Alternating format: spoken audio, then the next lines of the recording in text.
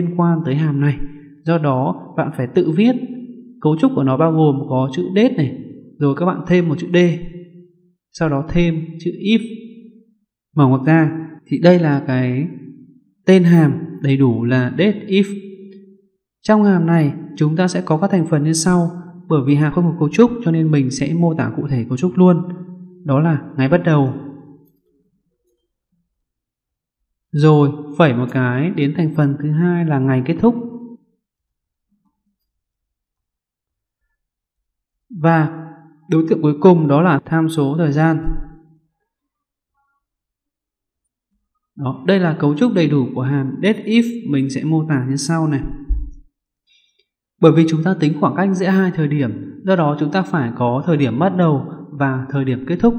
Hai thời điểm này là phải dữ liệu dạng ngày nếu không chúng ta sẽ không tính được. Tiếp đến là tham số.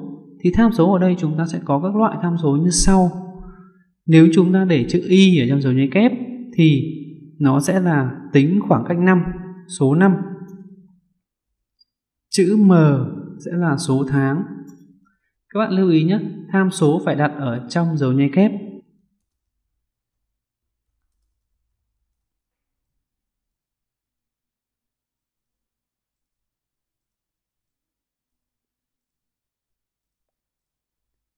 chữ y này, chữ m này, có chữ d là số ngày. Tiếp theo chúng ta có thêm một loại tham số nữa là im thì được hiểu là số tháng lẻ. Và md sẽ hiểu là số ngày lẻ. Số năm, số tháng, số ngày được hiểu là số năm chẵn này, số tháng chẵn và số ngày chẵn.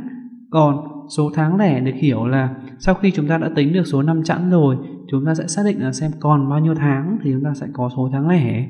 Rồi, chúng ta xác định được bao nhiêu tháng rồi thì chúng ta còn bao nhiêu ngày lẻ thì chúng ta sẽ có thêm tham số MD là xác định số ngày lẻ. Thì để mô tả rõ hơn cách vận dụng hàm này vào trong thực tế thì mình sẽ mô tả thông qua ba ví dụ sau.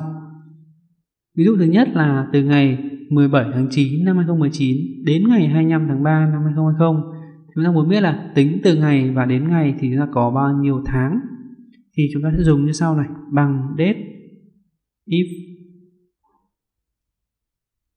mở ngoặc ra.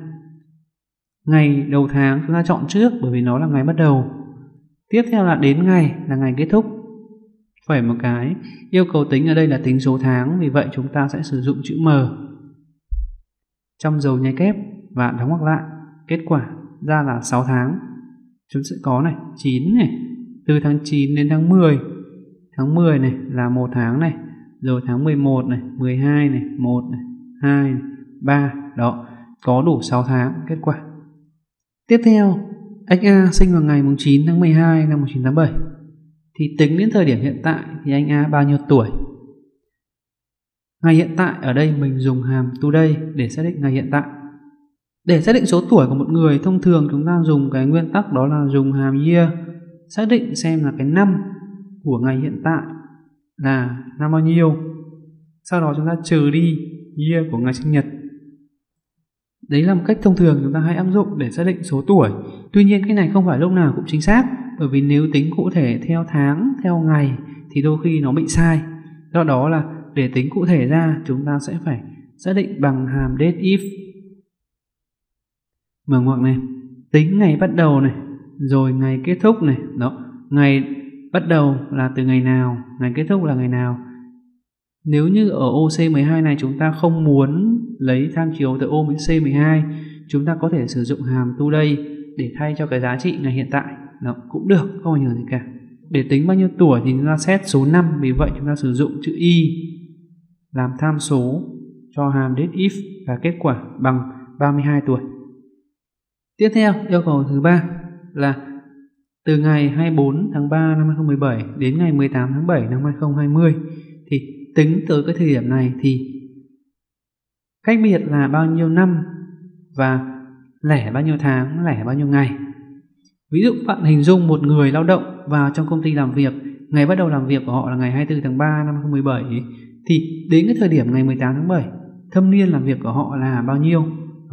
Thì cái việc tính thâm niên làm việc là một cái yêu cầu rất là hay gặp trong thực tế.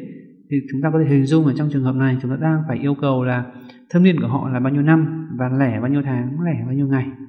Thì chúng ta sẽ có này, số 5 sẽ bằng date if của ngày bắt đầu vào làm này, rồi đến ngày kết thúc này, và số 5 đủ sẽ là chữ y ở trong dấu nháy kép các cái tham số này, các bạn hoàn toàn có thể viết hoa hoặc viết thường đều được, không hiểu gì, miễn là chúng ta viết đúng. Chúng ta có 3 năm. Đủ 3 năm này, số tháng này. Lẻ. Chú ý nhé, ở đây là phải là tháng lẻ chứ không phải là tháng chẵn. Bằng date if mở ngoặc ra, ngày bắt đầu, phẩy, ngày kết thúc, phẩy. Để xét số tháng lẻ, chúng ta có im trong dấu nháy kép. Enter lẻ 3 tháng. Đó, các bạn để ý này. Ngày 24 tháng 3 đến ngày 18 tháng 7 thực ra nó chỉ là 3 tháng đủ thôi.